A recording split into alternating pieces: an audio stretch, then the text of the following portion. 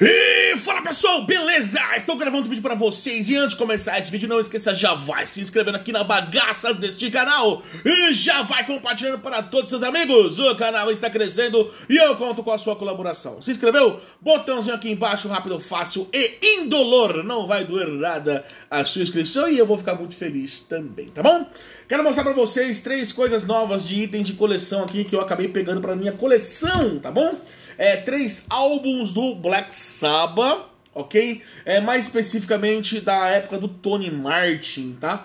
Eu estou falando de três álbuns, como por exemplo o é, Forbidden, tá aqui pra vocês, Forbidden, o Tear, difícil achar esse álbum aqui, do Tear, e o Headless Cross, tá aqui pra vocês também. Três fases do Tony Martin, tá lacradinho aqui, vou abrir pra vocês. É aquela coisa, né, pessoal? Muitas pessoas falam assim: Black Sabbath é Black Sabbath apenas com Ozzy e um pouquinho ali com o Dio também.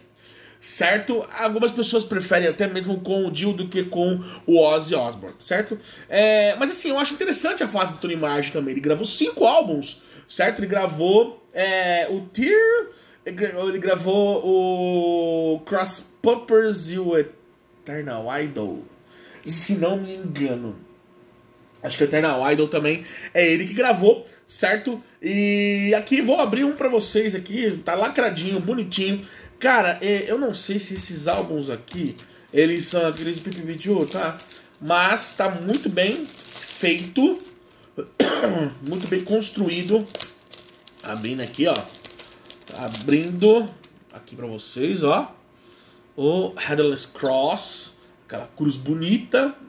Aqui, ó, olha, gente, aqui ó, abrindo. Uh, esse aqui é pela de, de L, é IRS, IRS, uh, IRS Metal. Esse aqui uh, Universal City.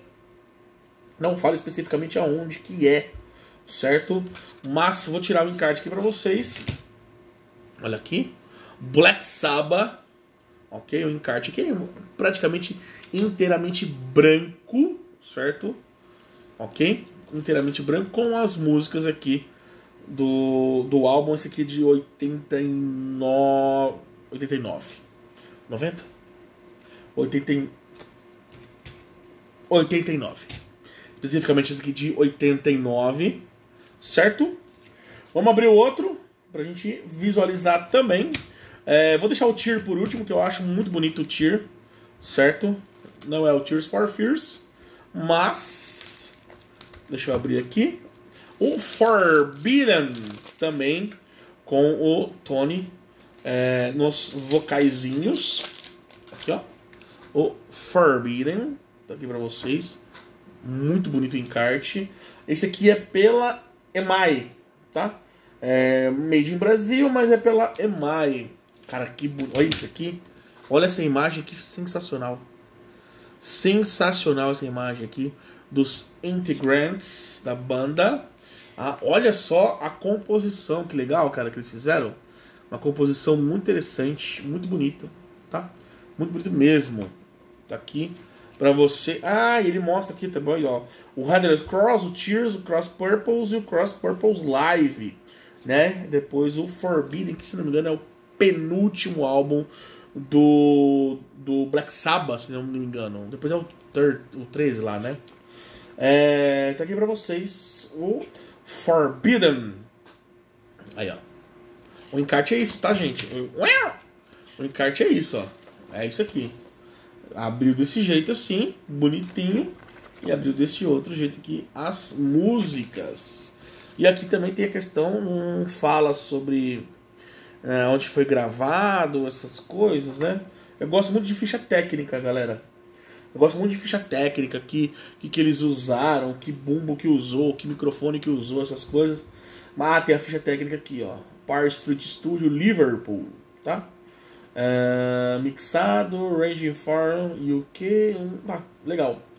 Uh, ilustração, um, os sons todo pelo. as letras pelo Tony Martin, tá? Essa ficha técnica é sempre interessante, que eles mostram algumas coisas relacionadas aí do que a banda fez, ok? E por último, não menos importantinho, vamos de Tear, tá? Gosto muito desse álbum, acho muito. Ouvi bastante ele pelas plataformas digitais. Eu acho ele bacana. Eu gosto da, da, dessa capa meio celta que ele tem. Aqui, ó. Eu acho muito bonita essa capa meio celta que eles fazem, até ó, por dentro também, bem.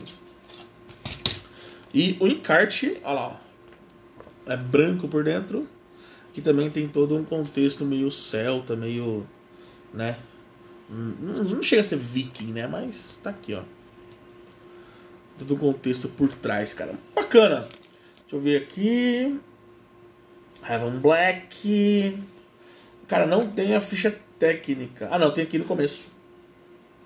Ficha técnica tem aqui no começo também, falando um pouquinho aqui. Né, o Tony, Tommy Iommi, o Tony Martin, o Cross e o Neil, Neil Murray no, no baixo. As letras pelo Tony Martin, os arranjos pelo Black Sabbath, 1990. Tá? Você vê que o Tony Martin é um grandíssimo compositor aí também com relação às letras, tá bom? E é isso, pessoal. Consegui esses três álbuns aqui do Black Sabbath para vocês aí. É, era um pouquinho difícil de achar, acabei achando aí, consegui pegar e tá aqui mais novo na minha coleçãozinha, certo? Então é isso.